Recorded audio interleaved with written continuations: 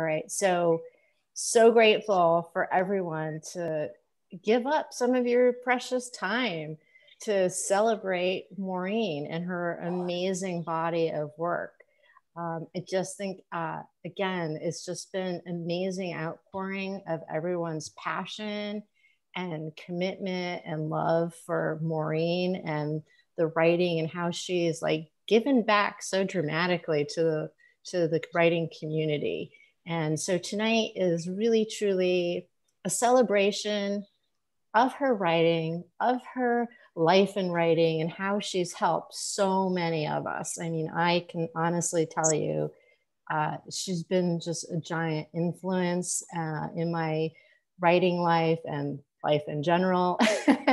and her generosity is just um, pretty much, you know, on that unparalleled level uh, where she's always giving back and helping. So, to kick it off, we're going to have Denise Duhamel read one of her works. Denise, take it away. Thank you, Jennifer, for organizing this.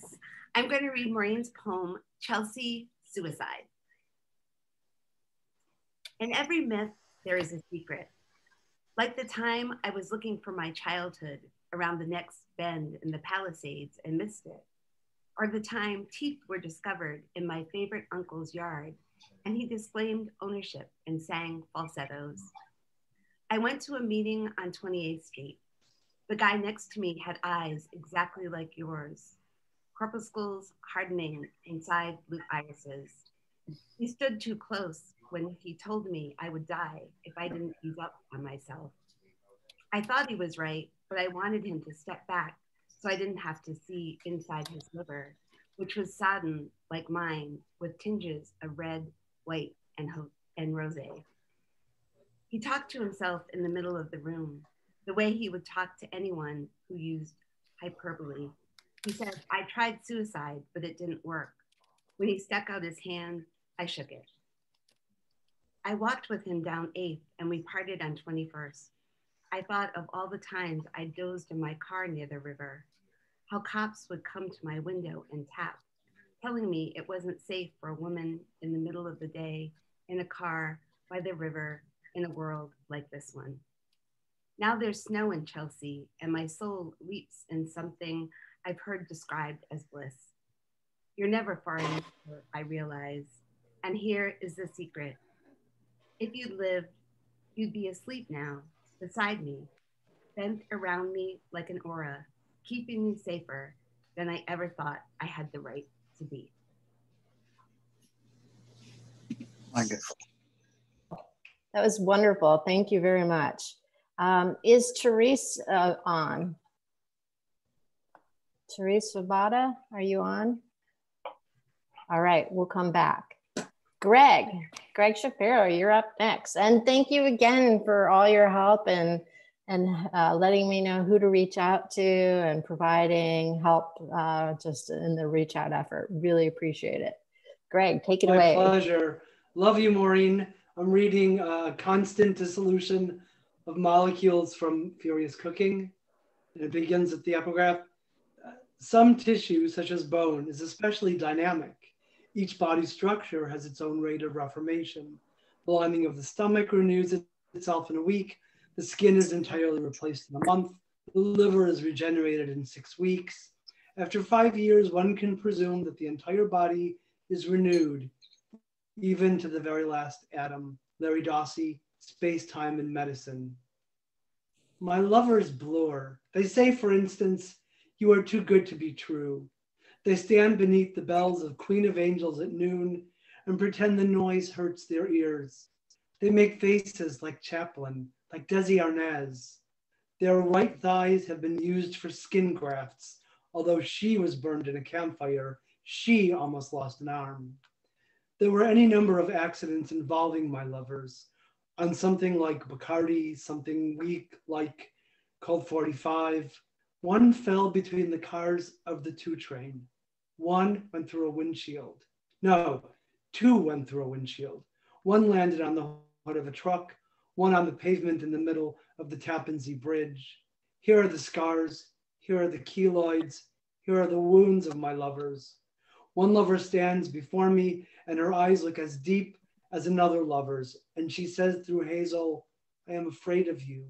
When my body accidentally arches in a swan pose, she looks at me and says, I can see why your other lovers would kill to keep you. My brown eyed lover is inscrutable above me.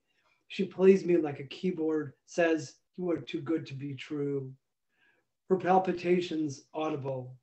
I am too good to be true, though I give her myself for complex reasons, none of which inspires awe.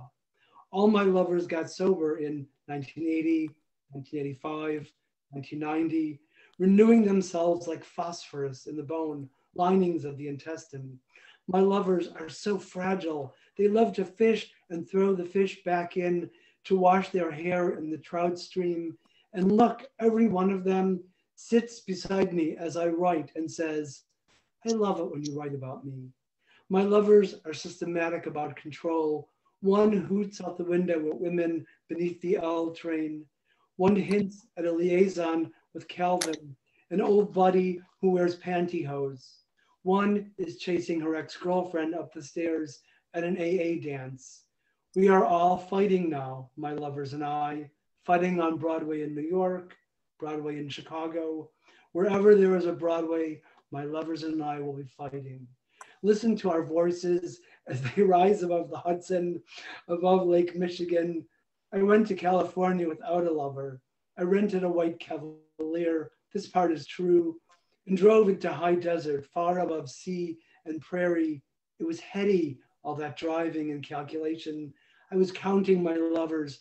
I was thinking I might fall off a cliff on Highway 1, plunge into turquoise. My mind danced like pollen in stilled water. I thought, at this very moment, my organs are replacing themselves.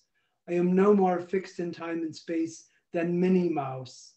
Even my priceless DNA exists for a few short months, exchanging itself with earth and star. Why, my old heart is probably fodder for lungfish and sponge. My lovers planted at sea like treasure, their tiny eyes blinking light. That's wonderful. Thank you so much, Greg. Yay! Is Teresa on? She is. Oh, wonderful. Would you care to share next, please? Sure. Etta's Elegy uh, for Etta Silver, 1913 to 2013. This is where the poem holds its breath, where the usable truth sways, sorrowing, and the people sway with the truth of it. And this is where the poem enters the dark. This is where the book closes and the clock opens and the clock closes and the book opens to song. So the snow geese murmur and the coyote swaggers along the aspens this is where the geese fly unabashedly out, and the sky turns white and wild with sound. This is where tumult, this is where prophecy, this is where the poem repents of language. This is where the poem enters silence, where the child holds the book in her lap, whose pages are aflame with life, whose song sways with a usable truth, sorrowing, and this is where the poem holds its breath. And this is where the poem enters the dark. This is where it leaps wild about the child, where the snow geese sees the seamless sky, and the universe splits open for one poem. The way a life lived calls on us to praise it. Thank you so much. That was wonderful. Next, we have Julie. Thanks, Jen. Um, Maureen, you inspire me boundlessly. This is one of my favorite poems of yours, An Uncorrected Life um, from The Cave of the Yellow Volkswagen. An Uncorrected Life.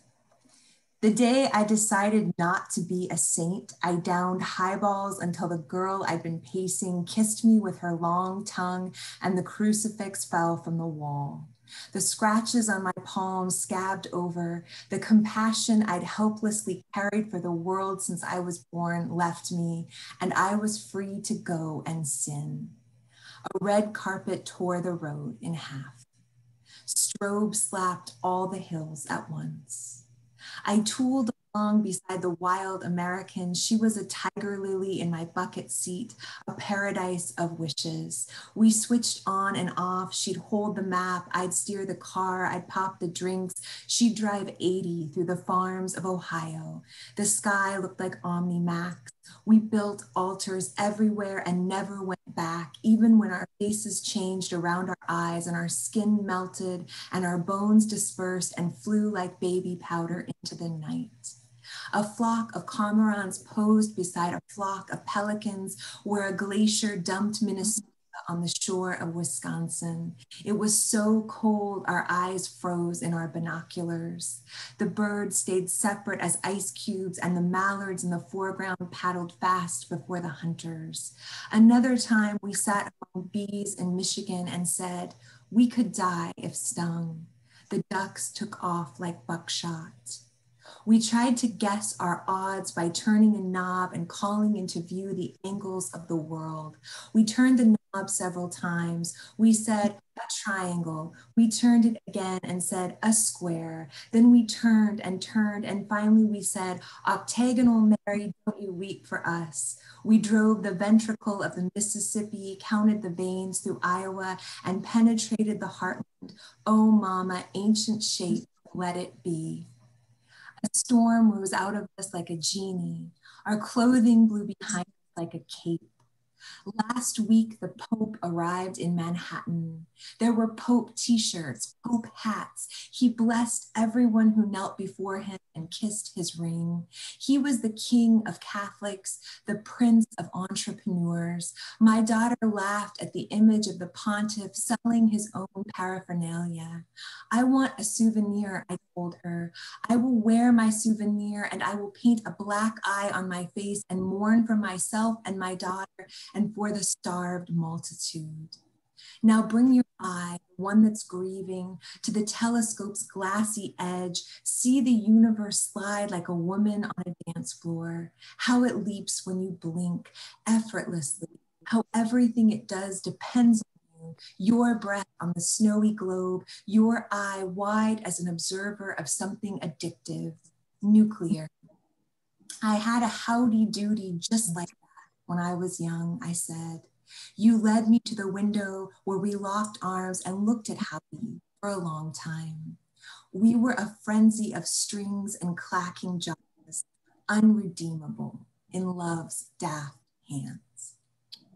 Thank you. Thank you so much. Uh, next, we have Catherine Prescott. Catherine, your turn. Thank you so much. Maureen, I love you so much. It's such a joy and an honor to celebrate you and your work. Thank you for being such a tireless poetry advocate and poetry angel for all of us, um, and especially over at SWWIM. Just know that we love you. So I'm going to read um, The Integrity of Matter, or Peace in the Rose Colored Now. There's blood on the page before this one. See? The dark kicks up, air torques rain teasers the skin. What did Ginsberg say? That he wrote poems to tell his version of things in a world that only tells versions of power? How many days do we have, really? A tornado touches down in the next town north. My heart I ams to some ancient classic, maybe Jackson Browne, maybe stylistics. I totter at St. Vrain Creek, where it bursts from the Rockies. Cottonwoods catch me. When the child who lives in this house is away, his toys grieve. Thomas the train is speechless, and the mottled ball sits still. I forget the name of the film where a woman walks into walls in hopes of entering the womb of an atom. The child's atoms are here, even as he into the next plane home. What a big open space I am. The way these electrons come together, you'd think I was real. Thank you very, very much. Um, much appreciated. next, can everyone hear me okay, first of all? Yeah. Okay. So next we have um, Caridad. If you could please share the poem that you've selected tonight, that would be wonderful. Hi, everyone. Maureen, what can I say? I, I love you. I have so much gratitude to you and for you. And you are so instrumental to me as a, a mentor, a writer, and my friend. So it's my, my honor to be here today. I'm going to read Blonde Ambition from Furious Cooking. Blonde Ambition. The only miracle I ever wanted as a kid was for my statue of Mary, the Mother of God, to glow so I could feel enchanted. I moved among grown ups like a flame. I was punctured by arrows of love. I was boiled in consecrated oil, blameless as risen Jesus, an anxious girl child of small radical expectations, sorry for sins I'd never done. I stayed connected to my heelinage like a tiny fish that lives on the benign whale shark and follows him from ocean to ocean in abiding complacency, unlike Colette or Cher. Now, when I dream I'm flying, lonesome above other humans, striking ballet poses and lifting off the floor just enough so that they can't touch me, I'm told I'm ambitious. Yet Madonna scares me. I look at her peripherally as if the radiance of her blonde ambition is too bright or she might be contagious. I'm told not to put her in a poem because she will not endure the test of time. She is no more deserving than Campbell's soup or the bee who gave his life when he sank his pricker into my flesh. Meanwhile, I almost died on Friday at five on Half Day Road. I used to tell my daughters not to worry. No one dies until she's ready. For example, my brakes gave out. I was closing in on the windshield. The engine was moving toward me like the will of God, but I wasn't ready. I was totally alive and dead at the same time. It was 1947.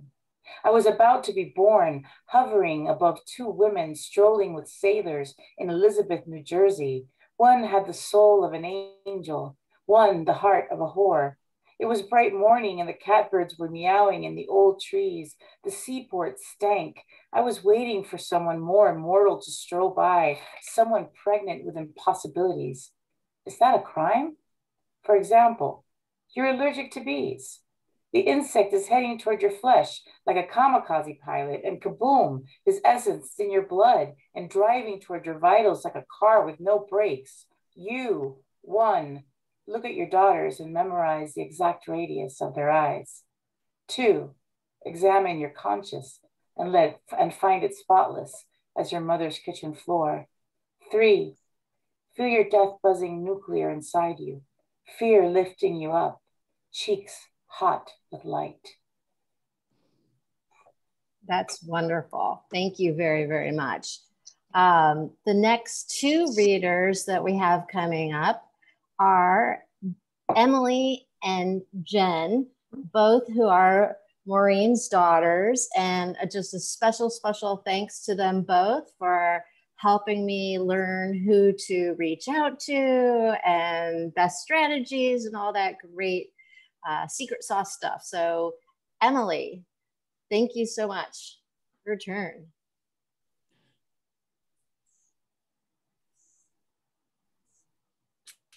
I am also reading from Furious Cooking, A Chorus of Horizontals. You're scanning New York radio in your old Honda on the Sawmill Parkway, headed south around Hastings, where the snow swollen river angles up near traffic.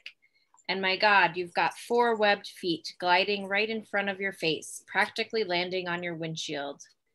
And you flinch and shut your eyes, your heart's percussive, and they've got the nerve to say, honk, then you're fishing near Muscoot Farm with a young angler who's dead now.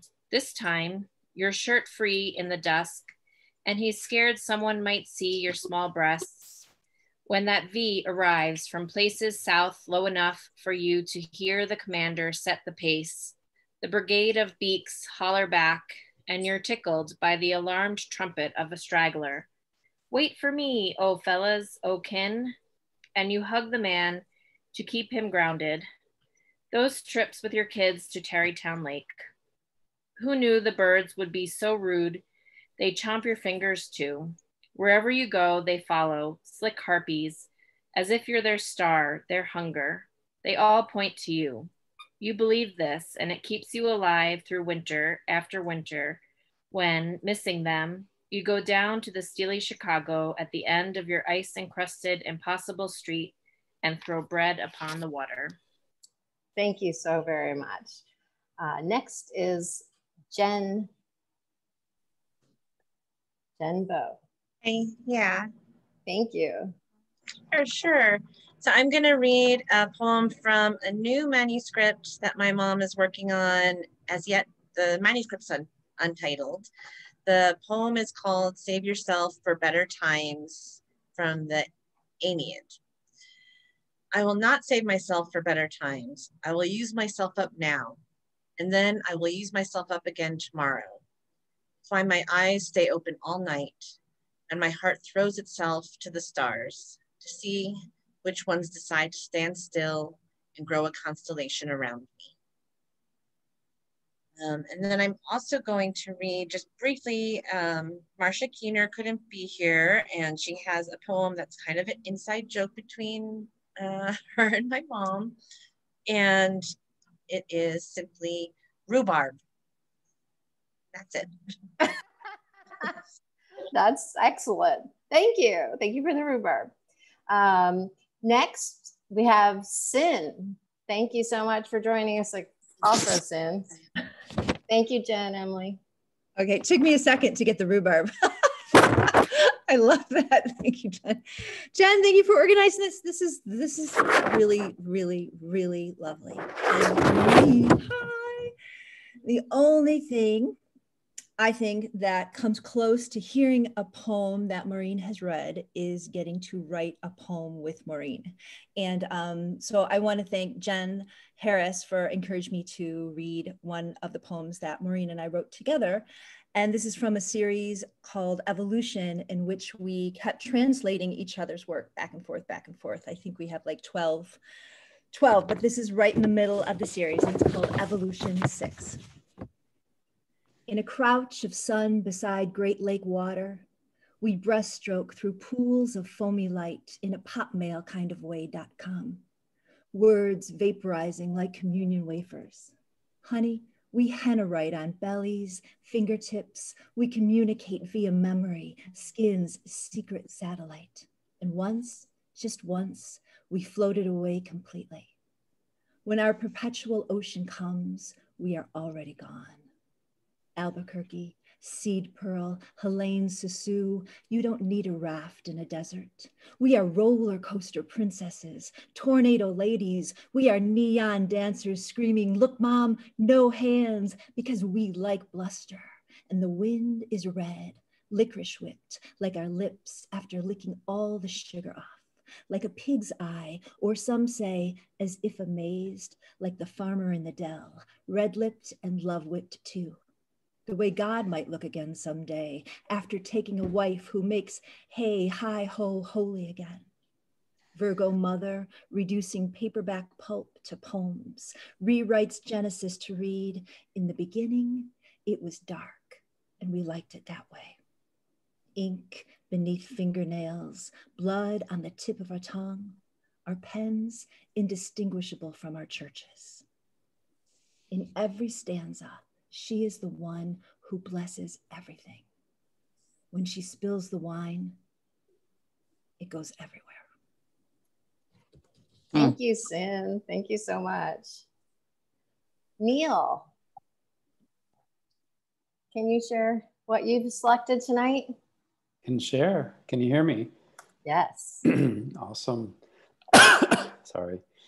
Um, so I um, I also chose uh, a collaboration, um, the title poem of our our, our book Sinead O'Connor and her coat of a thousand bluebirds, and um, you know I, I, chose this poem because when I write with Maureen, it's when I felt most happiest as a writer, and uh, most at peace, and uh, so I wanted to share this poem. I am so highly evolved that when I dance, I stand very still and bluebirds come and perch on my bra straps. I don't have bra straps, only cups. I only have cups on Sunday. I know now what a smiley face can do, and I exercise it judiciously, although sometimes it's hard to tell whether or not a certain situation merits a smiley face or a machete. Either way, it's pretty funny.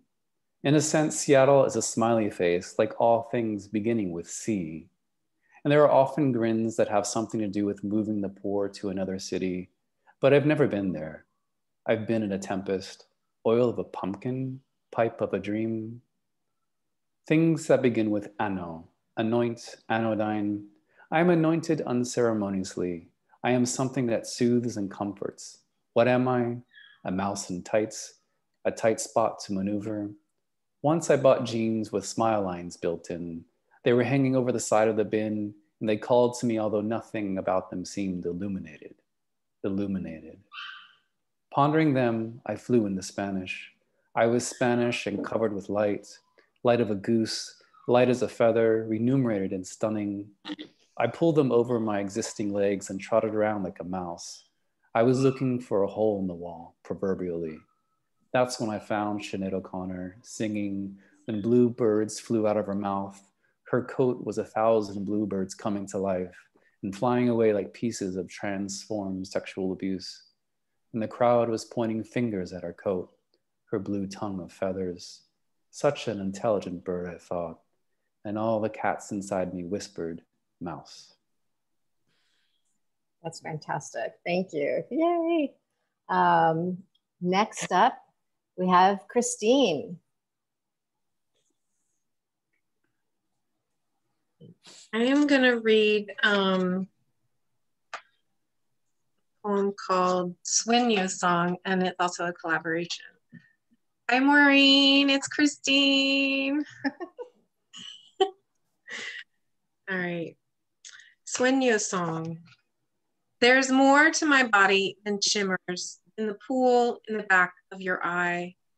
I lean in and remain emancipated to the solipsistic meter in your heart, to the saliva, the remains of your slack, hand on the way you fondle your own wrist. What wrestles incompatible, insecure? Leave awake and angry your healing. And I forgive you.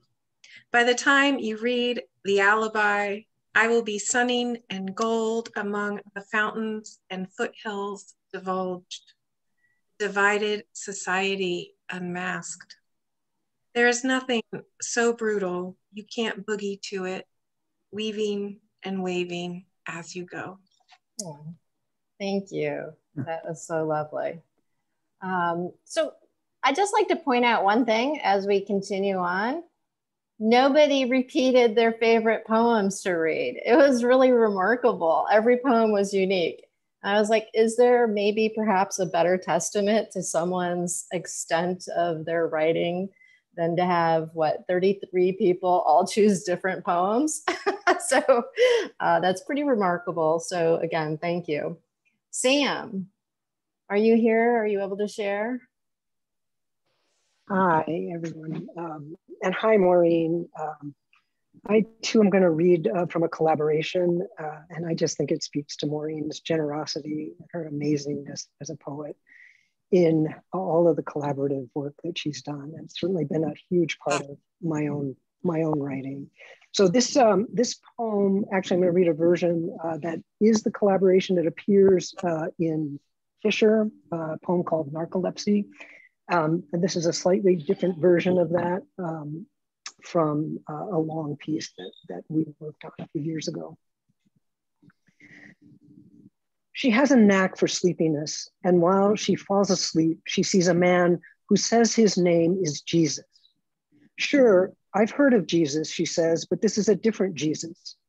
He's coming to take me home, and that will be good. I can't wait, she adds, a twinkle in the eye. Everyone tries to make her want to stay. But why, she says, a good question of stellar significance, I think. This is me talking now, not her. I've changed the point of view because the onset of sleep is approaching. I can sense it vaguely, and my eyes are like chihuahua eyes now, glazed and half masked. I made pineapple scones before, and I'm eating one as I write this. I ate one while I searched for hallucinations associated with narcolepsy. I tried to eat one while I got sidetracked by a hobbit house some guy built in Wales for $5,000. I can't expect much from myself. At 13, I looked out my window and saw orchards burning. Now, I have to admit, I prefer Florida avocados to the more popular Hass avocado. That's because I've gotten used to them, people say. Think of a 13 year old locked in a hospital with other kids who would rather be dead. I had a vision once or twice involving a dark tunnel or a luminous ceiling. I can see how visions might be preferable to life or death, preferable to visions. It's hard to tell. We're all precarious, sleepy. Sleepy, he laughs high and laughs through his teeth. He chews and side hatted walks down the street. He stutters and prays, Hey, look, you see that? That? You see that guy with the hoodie? Come to get me. It's come to get me. It's come, that little man. This time, malevolence, but yesterday he was my good cousin who helped me cross the river. He laughs harder and sees a cool wheat outside the window. Hey, you see that? It's a dog and another red dog. Pretend you see them with me. They could be our friends or the Pilbara wanderer, David Tapu Tapu, that little guy whose primary military specialty is psychosis. Pretend you don't see them when they follow us. Pretend you want a hermit crab. Don't you know I have it figured out? The trick is not to flinch when they breathe on your neck. The trick is to accept your fate no matter what. The trick is to be crafty, but to jump when you get a chance. Thank you. That was really beautiful. Um, next, we have two Stephanies. First up will be Stephanie Lane Sutton, and after that, Stephanie Strickland. So, Stephanie Lane Sutton. Hi. Um, it's good because I just managed to like get my emotions together. Um, Maureen, uh, uh, I just I love you um, so much, and um, I've learned so much about how to be a poet and a queer woman from you. Um, I'm gonna read uh, the title poem from her new and selected. Uh, of course, she's put out like 12 collections, so it's not really like new anymore. Um, but I'm going to read a part of Fibonacci Batman or a truncated version, which um, this is a poem in sections that follows the Fibonacci sequence. So each section adds on to the one before. Um, so here we go. Zero, one, Batman, you are bigger than a palm tree. One, Batman, you are bigger than a palm tree. Two, Batman, you are bigger than a palm tree. You are Egyptian with your ears. Three, Batman, you are bigger than a palm tree. You are Egyptian with your ears and your pretty gold belt. Five, Batman, you are bigger than a palm tree. You are Egyptian with your ears and your pretty gold belt. The sea laps your thighs, Batman. Look how long your gloves are. Eight, Batman, you are bigger than a palm tree. You are Egyptian with your ears and your pretty gold belt. The sea laps your thighs, Batman. Look how long your gloves are. You could lick a cloud, you're so tall. No one is scared of you, Batman. Everyone cruises along in a pleasure boat beside you. 13. When you finish your story, they all laugh. Ha ha, Batman, they say, ha ha. Your hair curls beneath your cowl, Batman. Your toes prod islands. Your wings flap like fruitlessness. 21. You flirt nightly with disasters, Batman, with your tail fins and your speeding heart, with your six pack and your jawline. When you sing at the Met, no one throws eggs at you. When you play bagpipes, no one boos. Your cape wraps around you like a tortilla. Inside, you are upside down and sleeping. You compose sonar like Satie and Hendrix. 34. Stravinsky and Shakur. There are heroes in your dreams, Batman. They clamor around you in primary hues, in disguises of nerds and teenagers, pixies and mafiosos, Hansels and dopies. You haunt yourself in single breasted tuxedos, cashmere coats, and bling and blase. Holy archetype, you're tectonic. Your face is Grecian, your stubble mirage. No one tweaks your cheeks, Batman. When you speak, they hear pebbles falling down a mountain of silk. They hear the trumpet of a mute goose. 55. Once you were born a winged thing, grief and flapping, nest and pushing. Your instincts rose undead around you. You grew troubled as a sea caucus. Your ego was an unwashed pig. Everyone who you knew knew. They saw you crapping in barns, dangling from door frames. They saw you on rails and highways on Mott Street, Ludlow, St. Mark's Place. You hovered over atria of dying corporations. You flinched in your soft tissue. You bore down like a god, divine player of polo, routine slurper of escargot, in crosshairs and reverb, in ice gin and bootlace, on Bowery and Triborough, on Gargoyle and Chrysler. Oh, dank and rake and velocity. Everything grew like the windup of a pitch. 89. When a butterfly flaps on Amsterdam, you suit to kill on Madison. When villains practice villainy, you drive zombily towards the bloodshed. Molecules pass psychotically. Storm systems veer and vomit. There's a wind that loves you. This is the wind you're named for. Dracula, son of blood. When people ask what you'd like to be if you weren't a Batman, you say a ripple, a verb. You say a physicist, a pipe dream. Your ego is an equation of chicken guts and Ferrari parts. There's your body in its zoot suit, its underwater shadows. There's your pale ass, your Adam's apple. There's your electromagnetic force field amuck beside your baby grand. No one hears you fart, Batman. Everyone puts you on four wheels and sends you off. Rooftops are your desert, nighttime your skin. You stoop like an old man. Your beard blows away. A butterfly lands in the crotch of a ginkgo on a street with flying buttresses. Wings move randomly around the world. Not really, not random. Once upon a time, you are wholly Batman. Your fate downshifts into infinity. Batman the man. Batman the bat. Batman the Batman. You can't believe you're still alive. Thank you so much, Stephanie. Next, uh, Stephanie Strickland. And let me just say too that we have students, other writers, other collaborators, colleagues, teachers, friends, family, um, spanning from Denver to Chicago to the East Coast and down, of course, to the great Florida, where so many of you are as well. So with that, Stephanie, thank you.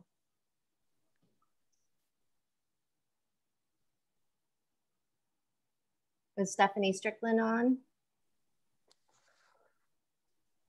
Muted. Helpful, be helpful, right? uh, Maureen, you're an amazing blood jet of poetry and a dear friend. I'm going to read Fiddleheads from uh, Little Ice Age. The first time I saw hundreds of fiddlehead ferns boiling in an enormous pot, I realized what an odd person I must be to hear tiny cries from the mouths of cooking vegetables. Similarly, when you hurt me, I curled like a mouse behind my third eye. I realized what an odd thing it is to believe as I do in my third eye and the mouse behind it that furls like a fern and whimpers like a fern being boiled on a monster stove beside its brothers and sisters. Poor mouse. The things that make a person odd are odd themselves. Think of DNA, the way it resembles the rope Jack climbed to secure his future and that of his aging mom, or the way a sudden wave can drag a child under. That addiction to adrenaline, her siblings farther away and more powerless than she ever imagined. The pure and ecstatic irreversibility of undertow. It's odd to come back to life, as they say. She came back to life. I, I think I'll come back to life now.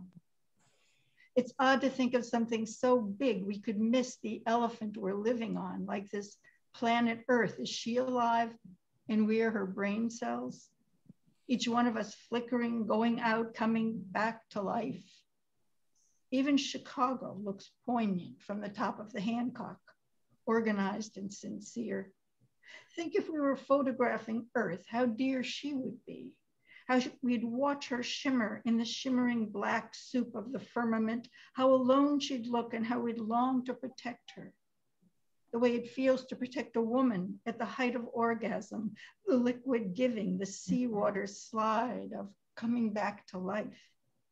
When you hurt me, I evolved like a backboned sea creature, translucent nervous system sparking along in the meanest deep where I was small enough to not care.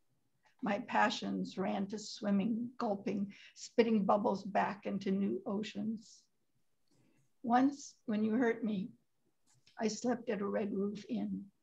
I double locked the door and tried to watch talk shows to keep my mind off sounds like someone suffocating someone in the next room. I thought I saw blood on the box spring and imagined needles and bulgy veins. There's something odd, I thought, about someone whose imagination runs this wild. So often I dream you're here. And I wake in the middle of a prayer from my muzzled childhood.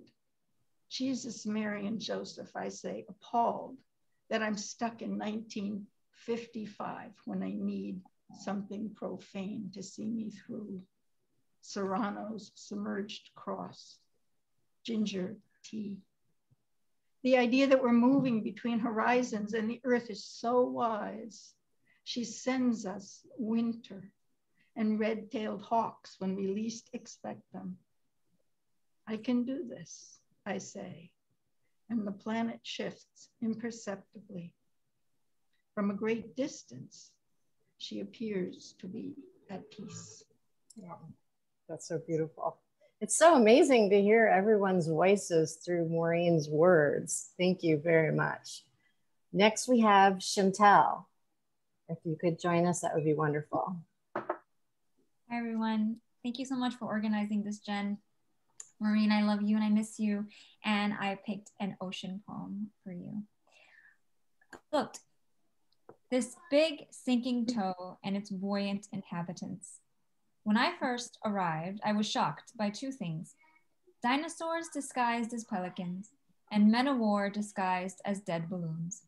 Either way, I was naive. I thought an ocean is an ocean, and since I'd married the North Atlantic at seven, what could this lukewarm lake possibly have to offer me? Years lapped by mathematically. I was a fractal, and the seasons my humid iterations. I was predictable the waves, my loyal algorithms. Last week, I floated in the sea while a dozen gulls fought for a crust of pizza above me. When I looked up, the crust came plummeting down along with 12 unholy birds, like they were apostles and I was their Lord. Also, pirates and mermaids, pirates and mermaids, pirates and mermaids. They're real here. Here's my creed Fling yourself into the ocean, for it is loaded with salt. Float happily among the phosphorescent Floridians, their slick skin, their anemone hair. May their tentacles forever surround you. Beautiful. Thank you very, very much. Again, thank you. Simone, uh, are you prepared to read? Yes. Um, I wanted to read from Maureen's beautiful new book, Undersea. Um, but before I do, I have to actually give a shout out to a much earlier book, um, a collaborative book by Denise and Maureen in 1997, Exquisite Politics, which is a book that brought me to collaborative writing and instilled in me a lifelong love um, of both reading and writing collaboratively. So, so wonderful to hear all of the collaborations. The poem I'm going to read is called The Method of Vanishing Cues. And I just chose this poem because I love her leaping, and in all of the poems, she just has such a knack for a final line. The Method of Vanishing Cues. I got myself a cup it was the end of water, and I was the last to drink. I was a revolver at the bed of the dead woman. It was the cruel month, and I was inhabited by nightmares. It was a dream, the color of children. I was taking off from MIA. It was the time we drove in circles until we got there. I was extinct in Everglades. It was seasonable. I skied through flambe or sorbet. I was red handed and tender headed. It was the best and final cue. I broke into orchids and was gone. Beautiful. Yay. Thank you. Thank you. Uh, I believe Mike Puican had a conflict. Uh, if you are on, give a shout out so I can hear you. But let's go to Brendan next. Hey. Um, so this is this is a poem that is uh, my favorite kind of poem, actually, which is Florida apocalypse, climate change um, kind of poem. Um, so it's an honor to to read this. Metastasis Gilbert's Bar House of Refuge, Hutchinson Island. When the glaciers armied through Florida, like anywhere else, they left a mess of rocks and sand and animal bones behind them. They did this peacefully over a long period of time, and the animals felt peaceful as they died in the crush of ancient cold. And present day sea creatures poking through deserted coral, remember nothing of those faraway deaths. Yet, when the moon presses down on the Atlantic like the whole hard body of God, even the smallest worm on the reef will admit to hearing a moan in the ocean's bed. And if you're standing on shore past your bedtime, northern creature warmer than you've ever been in winter, and the moonlight pins you like a moth to the side of the old sea eaten hand built bench. You can hear it too. You don't want to. You shake your head against it, but it's real and mixed up with every other sound that's ever occurred up and down this killer beach. Thank you. Excellent. Thank you, Brendan. Thank you so much. Next, okay, so we had Denise vacationing in Ohio, and now we have Reg, who's uh, vacationing in New York. Uh, can you all hear me? Yes. Um, I'm really honored to uh, read aloud one of your so strikingly, richly inventive poems, Maureen, filled with such amazing intensities of imagining. I couldn't resist romancing Debussy because I am a pianist, studied since I was a kid, and this is one of my favorite poems. Romancing Debussy. 17 and sick to death of Bach. In fact, all those B-boys and their prodigious Viennese offspring, all those deep purple pathétique and crimson gavottes bored me. I'm a virgin, I said to water lilies, my own reflection in cologne. I need blue, not bagatelles or rhythmic blood of birth and war. Save me, I said, in third year French. Sauvez mon coeur daubs of sound divert me from gin fizzes, that tipsy raft of sneakered fawns bouncing around gymnasiums with their pockets bulging. Want a kiss? They've learned to grope in damp hallways, facial hair hatching as they speak. My own fingers meander in sevenths and ninths, gusts of blue green breath the boys call frigid. Once he, meaning Debussy, was a cloud. Once Chagall made him fly without wings above symphonies. I saw him at Lincoln Center with the other nerdy kids who hushed in the dark as if slain oboe, bassoon, first violin, a hundred little chosen future composers of America. That's beautiful. Thank you. Yay. Um, next, we have uh, another Jackleg advisor, Ruben. Thank you so much for joining in. What have you chosen Hi. to read? Um, I'm going to be reading Worm, Woman Circling Lake, uh, which um, may have first appeared in the uh, 90, 1992 winter issue of the Paris Review. Uh, I love you, Maureen. Um, this is such an honor to be here and to celebrate you. Woman Circling Lake.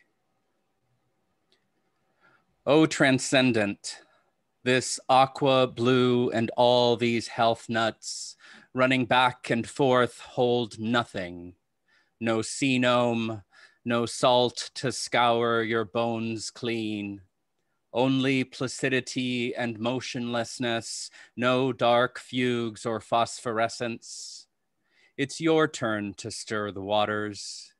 Don't back away from brittle plains and dry wheat, saying you're too far above us for encumbrances.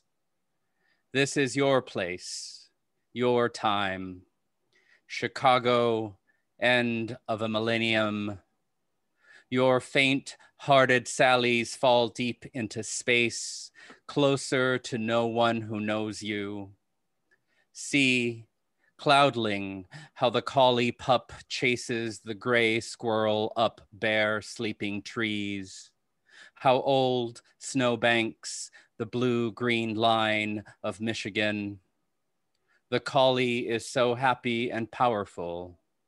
The squirrel steals from ash to oak as if possessed by abandon, rising higher into sky than any jubilant unchained creature. You are the end of winter, sea light. Little star eater, come back. It's not your turn to die. Thank you, thank you, thank you, thank you. Next up, we have something a little bit different.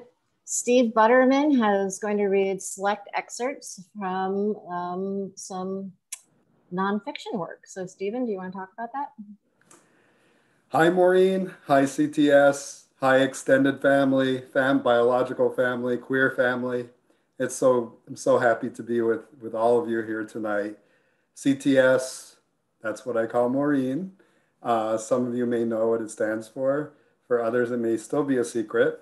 Um, I will come out with that later. Um, but today is an incredible day of celebration. Um, uh, this day is for you, and it coincides with the fact that my book came out also just today, my new book. Uh, so um, this is a special day indeed, and you're all over the acknowledgments as you should be um, for so many reasons. So I will read very brief uh, excerpts from a five part piece essay called The Queerosphere. Maureen uh, wrote this uh, as part of a collection on lesbian students, teachers, and students in the classroom. And the piece again is The Queerosphere Musings on Queer Studies and Creative Writing Classrooms on Poetry, Creativity, and the Fleetingness of Things. One, whenever I think of the queer sphere, I think of the first time I went to my friend Steve's queer studies class, and I was a big queer about to talk about queer, queer, queer. I wasn't too self conscious, with a big Q carved into my forehead and Queen Latifah tattooed on my right ankle. No, really. My first time in Steve's classroom, I was nervous because I was no longer with the woman I'd been with in the book of poems his students had just finished reading and were going to ask me questions about, and that just seemed wrong. For the sake of time, I'm skipping section two, going to an excerpt from section three, called In Constant Motion slash Mutilation. This phrase interests me, and it raises another memory from the Andy Goldsworthy documentary Steve and I just watched, where the sculptor talks about destruction. I'm all for destruction as a part of creation. So constant motion must mean mutilation, although the word destruction appeals to me a little bit more than the word mutilation, because mutilation seems to come from without, whereas destruction to me can come from within. Am I judging that? One of the basics I embrace is don't judge. Also, don't limit. This may make me more queer than who I sleep with, certainly, and perhaps extremely queer in the way I create and teach, because if all is in constant motion, which it is, and we are, then nothing can be judged because nothing stays itself long enough to be judged or analyzed. Well, anything may be judged or analyzed, but perhaps it is queer to remember that one is only analyzing a certain iteration of a certain thing or a certain person that exists in a single moment of time and space. Section four. I guess there are many ways to and around the pedagogy of poetry.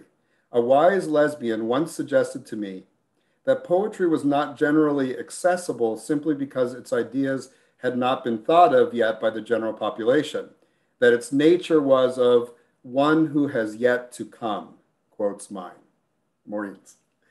In this way, it spearheads creativity and perhaps culture itself, leading us forward through its images and metaphors. I would say, skipping, sorry, for the sake of time, I would say that poetry is not inherently a queer literary genre, but that because poetic license exists even in the mind of the general population as an accepted possibility, poetry lends itself to a queer literary genre a bit more than the others. I'm troubled by theory. But that would be like saying I'm troubled by the message of Christ or the teachings of Buddha or the way Isis mothers, uh, mothers us or Moses leads us into the cooperative sea. And I am. There's a coot moving across the lake now. I am like him in that I am moving like a shadow across a larger body than mine because I am dedicated to the other side of the lake and therefore preoccupied with my vision. This is where my life resembles the life of Mary Shelley, the way she sat down with a few friends one night and said, quote, let's see who can write the scariest story ever written.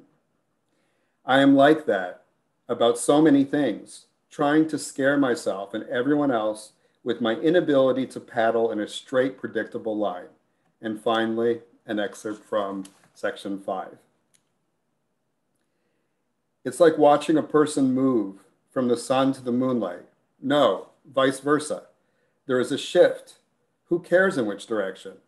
Neither is elite, neither from a place of sore loser. I can't remember when I was sure. I've been so queer for so long, I can't remember any other name besides Slim Shaky. Am I hopelessly unable to write analytically at this point? Do I want to do that in this piece of writing that borders on the prose poem? The prose poem, now there's a queer genre if ever. I want to stay here now, sitting in the sun until my vitamin D level rises above sea level. Why are the gulls upset? How do I know they're upset? Am I frustrated because I haven't written a damn thing for my left brain all day and my right brain is mutating with each stroke of the keys? No. It is all the same, all light and all the moon's umbra. Who else is so lucky they get to do this? Sit and feel this thin, soft moment.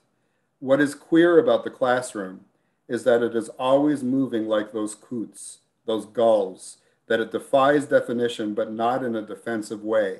It simply falls through the fingers like lake water, organic, authentic. Is this too much to want? Is queering a fractal situation?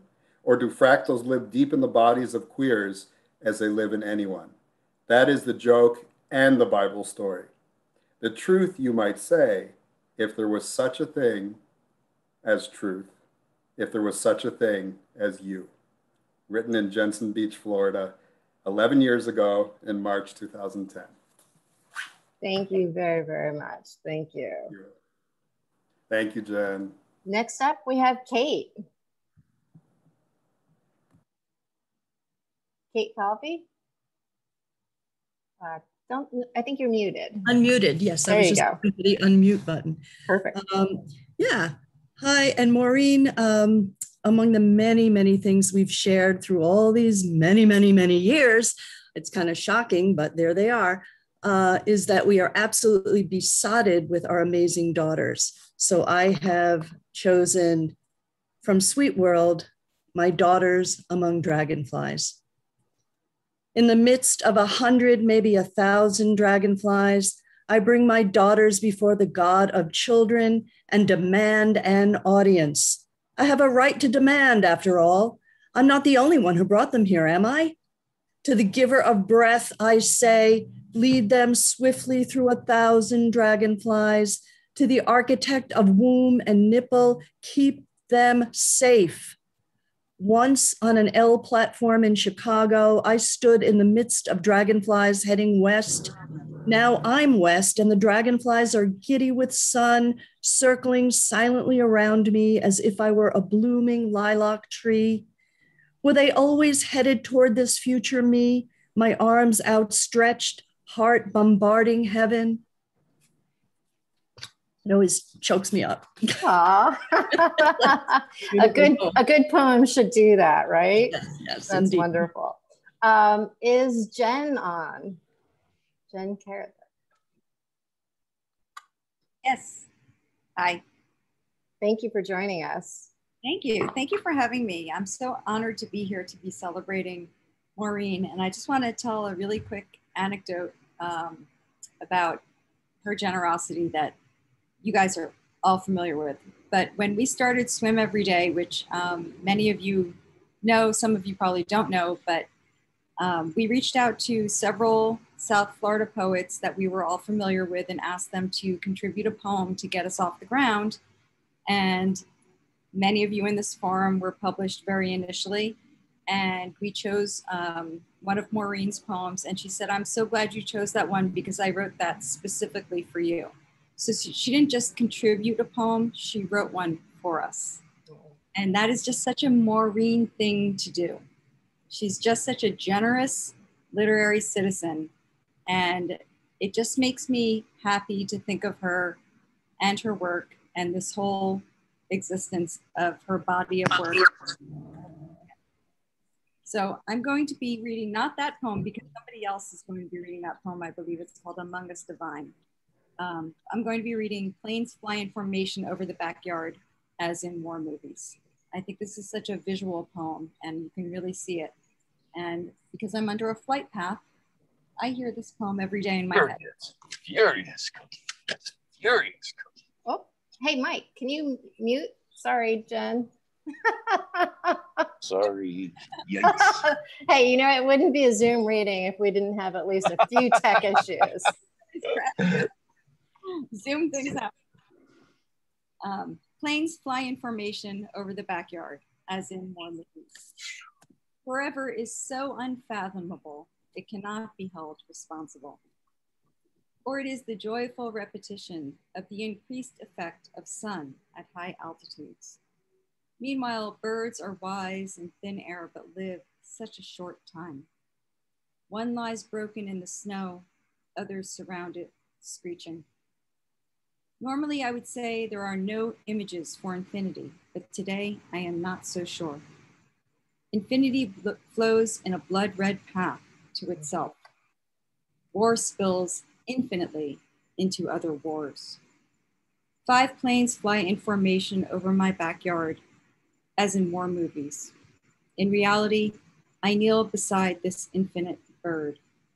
I am nothing but a string of bells, the hand of a minor god. I will walk in snow four more times before spring arrives in the foothills. Snow of burial and keening jays, the opposite of forever. That was so wonderful. And thank you so much for sharing that story because I honestly feel that that's why everyone's here. Her generosity of spirit, the way she's inspired us all. So thank you sincerely.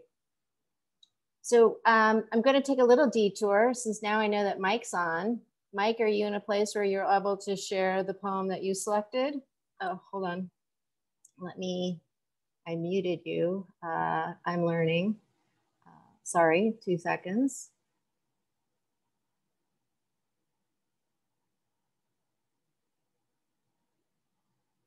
All right. Well, what, actually, while I'm doing that, Penny, would you like to read what you've chosen? Sure. Um, and Penny, and I'm going to read. Thank you, uh, yeah, I'm going to read uh, Jesus in Puberty, um, and it's from uh, the the book Sweet Jesus. So, um, I was the same age as Jesus when he left home and taught in the temple. I sat on the edge of my life. The Holy Ghost was in my mouth. Water rose and fell around me, and I stepped like an eagle from her nest to begin. I knew everything that had come before, everything that would come after. I guess you could say I was obsessed with the hand gestures little Christ was making in the Bible pictures, the way the learned men leaned their heads toward him, the possibilities of all that blood. My blood descends like a million possible infants. On Halloween, we have a party, boy, girl, down my legs and into my socks, dark jelly, old cherry wine. My childhood slides into the earth. Oh God, I say, for the first time, meaning damn. I grow lighter now, but you don't see me in the dark. Even with these pointy lights pointing blue and cool as raspberry ice. I'm digging deep into loam, forcing myself bulb in the thick of earth. Everything in me is begging to swell and burst. Where will I get the cash to feed my roots? Where will my roots grow, go when they've drunk all there possibly is to drink? Jesus, Jesus, Bo Jesus, Banana Fana Me, My, Moesus. He came to me in his Bo Jesus outfit soiled but shiny raiment, indicative of resurrection. The large sandals made in town by a leathersmith. He said my name too softly, as always, and I was hooked. Once he took me to the woods behind the brown split level, behind the old stone wall, white with rattlers, and placed me on a rock. The rock was cold in summer, cold in winter. It sat below me, and it drew in my warmth. I was a small iron on its roof, and it listened. Jesus flew among the trees I named and gave persona to twin elms, 12 virgins. Everywhere figures of light came down from the sun, and the child turned the rock warm. The rock blazed bright where the woman child lay, naming trees.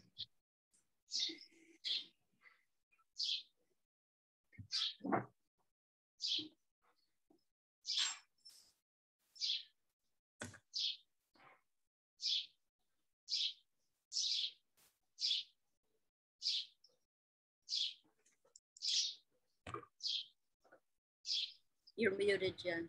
Oh, thank you, Mike. Thank you for joining us.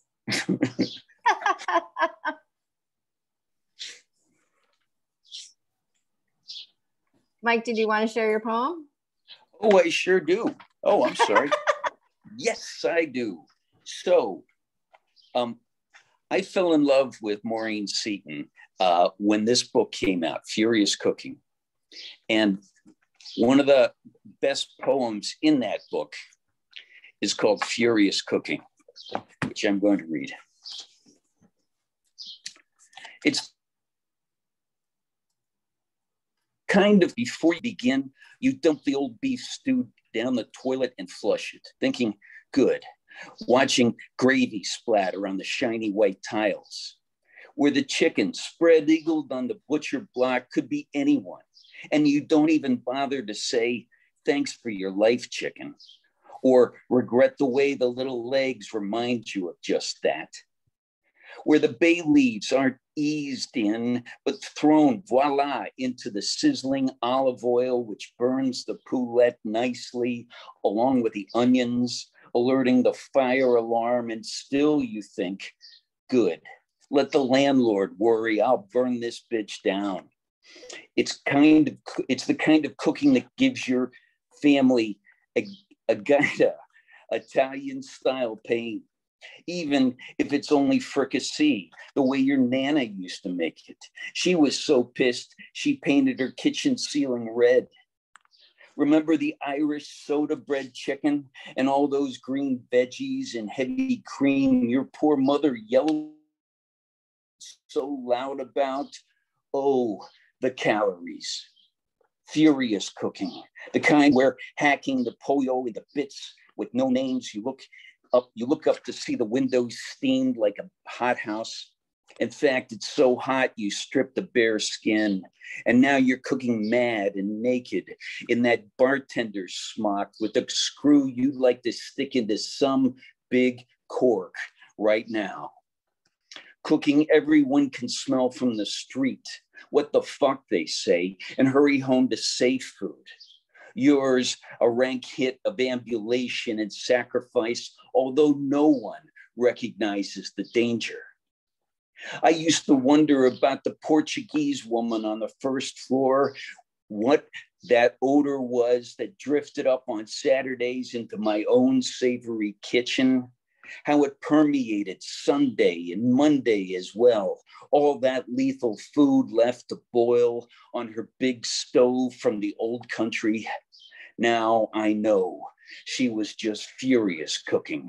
That aroma was no recipe you'd find in any country. A cross between organs and feathers and spinal fluid and two eyes, not to mention the last song in that chicken's throat before it kicked the bucket in the snow, in the prime of life. What all it ever wanted, you could etch on a dime and spin blithely into a crack in the kitchen table. Furious, furious cooking. That's fantastic. And it brings me right back to Chicago and the beginnings and meeting Maureen the first time and Reg and Simone. So thank you. Thank you so much. Um, next up, uh, we are going to hear from Nicole Tallman. Hi, everyone. Oh, Jen, thank you so much for organizing this. It's been it's been so much fun to hear all of these poems. Um, I'm going to read from Furious Cooking as well. So thank you for leading us in that direction, Mike. Um, I'm going to, I chose Self Portrait with Disasters. It's one of my favorite of, of Maureen's poems. So um, here we go. Self Portrait with Disasters. Imagine I once walked the entire length of Croton on Hudson in Hurricane Bob because I liked the smell of ozone and destruction. Then fell into snow so deep I drowned, but that was in a dream. And since then, the only thing I fear is waking. Now, when people hate me, say I must think I'm powerful. The man who shot himself in Missoula, on the other hand, had no power. Once he said he saw his wedding mattress floating down Broadway in South Yonkers. His wife had thrown it out, and a flood rose and loosened it from the trash. I thought, how amazing that Broadway stretches from Albany to Battery Park and back again, that beneath my feet lies the bedrock of a shifting continent, above my head, dust of a trillion dying stars. In fact, I myself am suspended in the devastation. For this moment only, I am the light. Thank you. Thank you very, very much, Nicole. Next, we have Lenny. What have you selected to share with us tonight? Well, uh, it's Sweet World, but before I read that, I'd like to say thank you for uh, reaching out to me. And, and I am so honored, as others have said, to be here, a part of the, what I suppose is the Maureen Seaton Orchestra. Um, That's you know, true. all these tones and voices and rhythms and music of everybody chiming in is just terrific. And uh, Jennifer, I think you invented the first Zoom chat book here, right? I mean, it's um, basically is what this is, right? It's a selected poems, audio visual. All right. So this is Sweet World. It uh, starts with an epigraph. Uh, I never had a nemesis before. I kind of like it. And that's Felicity Smoak, The Flash. Wonder what I'd be today if I was still married to my Wall Street husband besides married to a Wall Street husband and puking gin in a silk sheath at Delmonico's. I might be a blonde, size four. I might be a secret Democrat or a weekend lesbian. This morning, five planes flew over the yard in a V, and I was about to dig into a pile of lavender pancakes al fresco. The V flew low and slow. It flew loud and ominous. It alarmed me, sounding a lot like the war movies of my 50s childhood. My cranky chihuahua was proverbially biting at flies, and I was sitting there not thinking about hate. Recently, I experienced life with cancer, an intoxicating time, richly infused with the liquor of death, but good too, because no one expected much of me and I was left to my own mind, which is what I'm missing most these days. Unless that, unless that's it over there, screeching on two wheels around the racetrack. Today I typed nos, G-N-O-S, instead of song, and I wondered if it was some new app designed to mess with me. I've never thought to call the world sweet before. A nemesis can do that for you, make things taste different. Suddenly, you're a hero in all this devastation, and you're still standing in the middle of it. Love you, Maureen. Excellent, excellent. Thank you. Next, we have uh, another one of jo uh, Maureen's publishers, Joan Handler.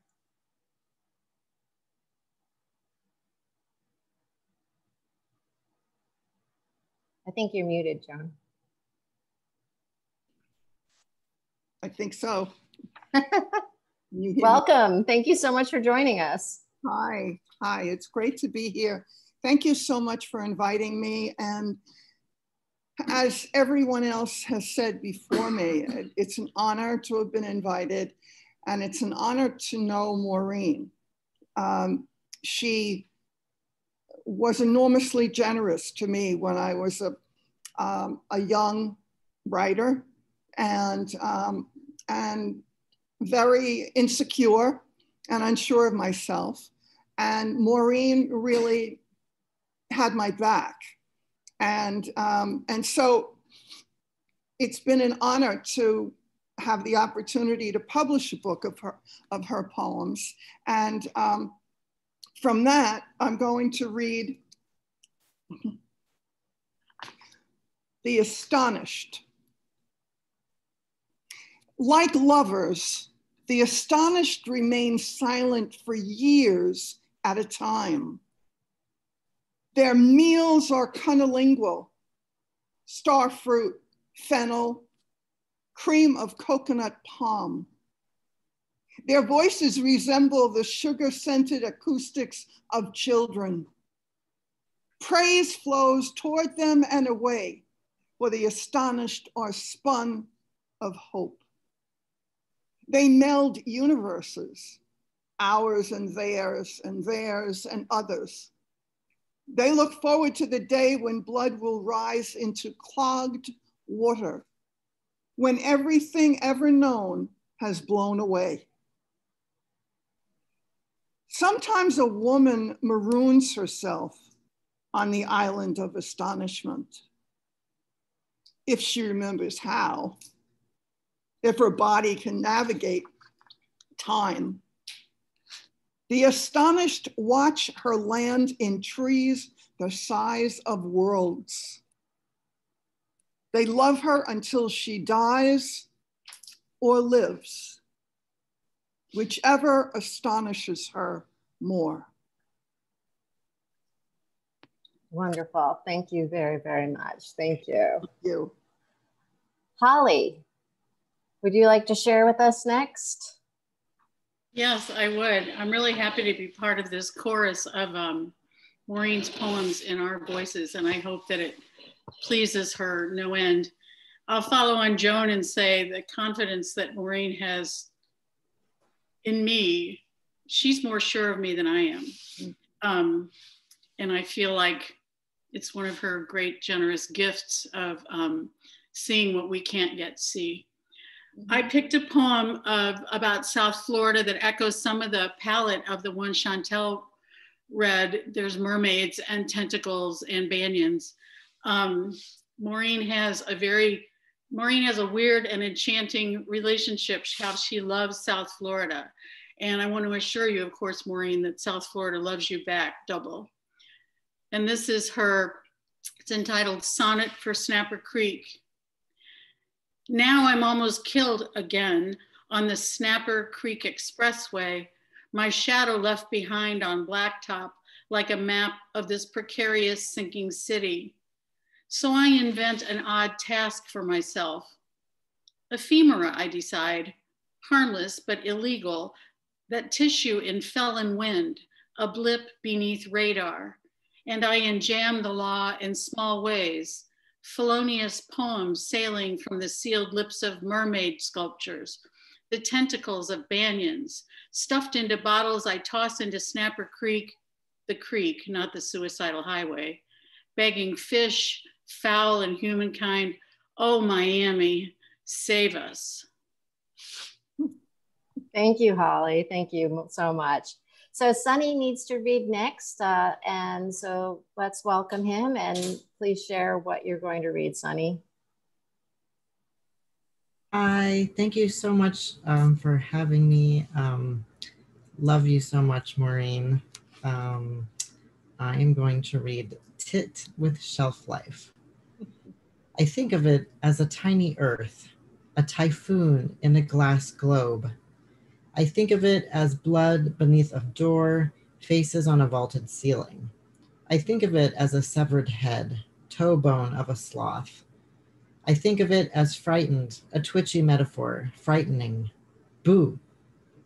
I think of it as a random bird impaled on a random tree, hawthorn.